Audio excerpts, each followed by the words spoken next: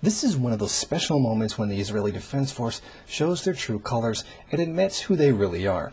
An IDF sniper posted a photo on Instagram bragging about having murdered children. The post was quickly screen capped and is being preserved as evidence of a war crime.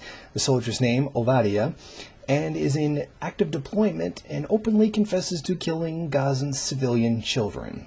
While not specifying what weapon he had, the posting of himself with the 50 caliber rifle was obviously meant to be visually intimidating to Palestinians.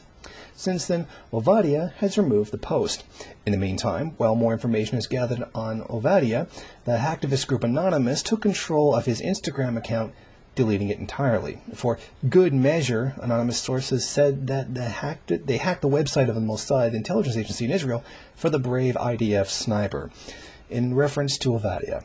By 1130, they had taken down the Israeli Ministry of Defense as well, and similarly attributed it as a response to Ovadia's confessions. As usual, the heinous war crime is going completely unnoticed by the mainstream media, who seems dedicated to protecting the genocidal state of Israel. Thank you for watching. Please comment and rate the video. If you liked it, hit subscribe or check out some of these other great videos. If you wish, share it on social media. One, while you're at it, why don't you follow me on Twitter? And if you got time, go on over to the MRN bookstore and check out some of the latest books available.